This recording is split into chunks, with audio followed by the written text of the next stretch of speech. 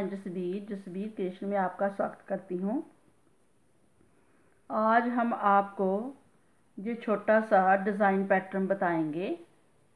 ये baby girl के लिए है, जे आप फ्रॉक पे डाल सकते हैं और किसी भी बच्चे के स्वेटर पे इसको डाल सकते हैं। ये छोटा छोटा सा बनने वाला बहुत ही आसान सा डिज़ाइन है, बहुत इजी वे में बन जाता है। और जल्दी बनता है। तो मेरे एक व्यूअर्स ने मुझे कहा है कि मेरी बेबी के लिए सुंदर सा सिंपल सा इजी डिज़ाइन बताइए, ये उनके लिए है। तो एक मैंने पहले डिज़ाइन बनाया है।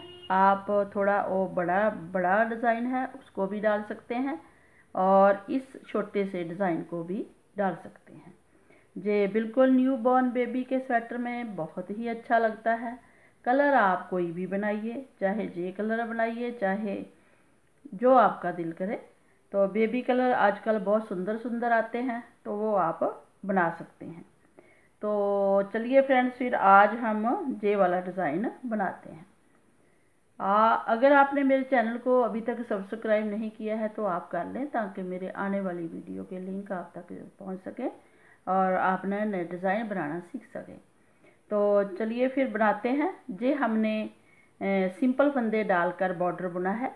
जे बॉर्डर तीन लाइनों का है। आप चाहे तो पाँच लाइनें बनाइए, सेवन लाइनें बनाइए, जितना आपका दिल करे। मैंने जे स्टार्ट किया है कि आपने ऐसे बॉर्डर बनाना है और ऐसे बटन पट्टी बनानी है। बटन पट्टी के मैंने सिक्स फंदे रखे हैं। आपने अगर थोड़े ज़्यादा फंदे रखने हैं तो रख सकते हैं। अगर बिल्कुल न्यू बॉर्न बेबी है तो इतने फंदे बहुत हैं। तो इसलिए आप मैं ये बटन पट्टी के फंदे हैं, उसके साथ डिज़ाइन शुरू किया है। तो आप पूरे फंदे लेकर भी आगे पीछे मतलब फ्रंट और इधर वाला फ्रंट और बैक के फंदे लेकर भी स्वेटर बना सकते हैं। आप गले से भी स्वेटर को स्टार्ट कर सकते हैं।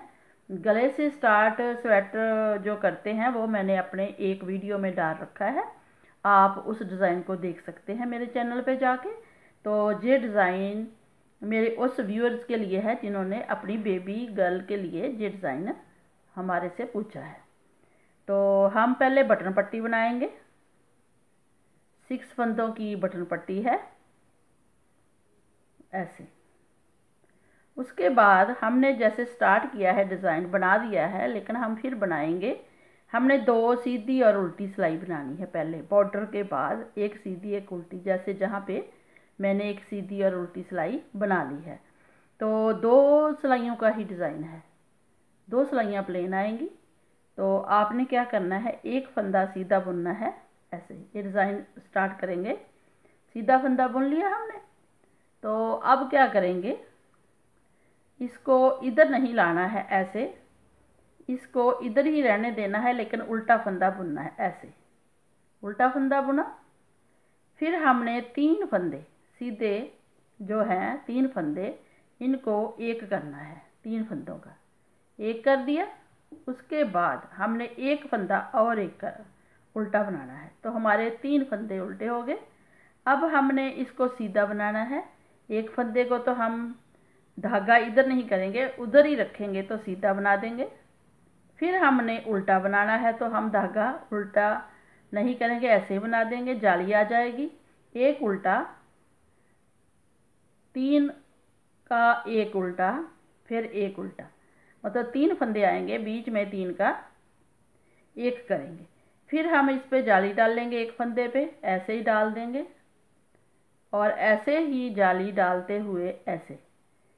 अब उल्टा फंदा बुनना है तो हम उल्टा एक ही बुनेंगे। जाली भी डल जाएगी।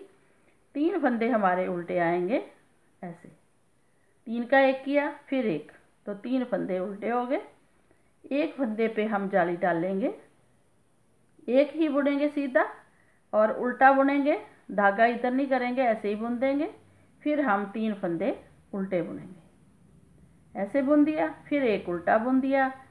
ये लास्ट वाले हमने दो फंदे रखने हैं। फ़र्स्ट वाले फंदे पे हमने जाली डालनी है, दूसरा ऐसे ही बुन देना है। तो ये हमारा डिज़ाइन बन गया। अब हमने रॉन्ग सिलाई बनानी है उल्टी। उल्टी सिलाई हमने पूरी उल्टी बनानी है। जो हमने जाली डाली है, उसको भी बुनना है। बाकी तीन फंदे हमने जे वाले बुनने हैं।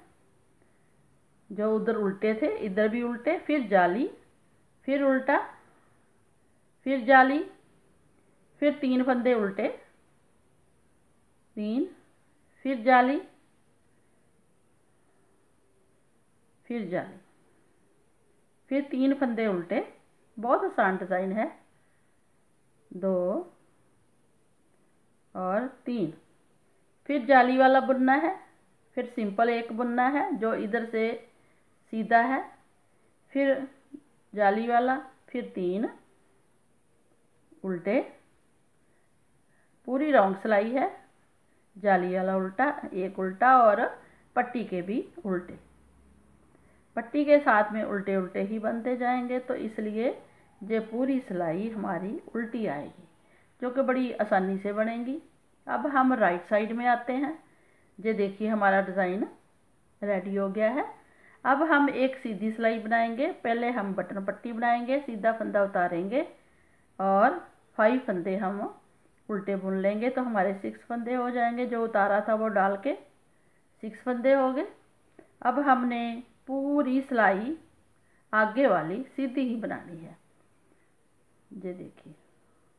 दो सिलाइयों का डिज़ाइन है। दो सिलाइयाँ ऊपर सीधी और उल्टी बनेंगी।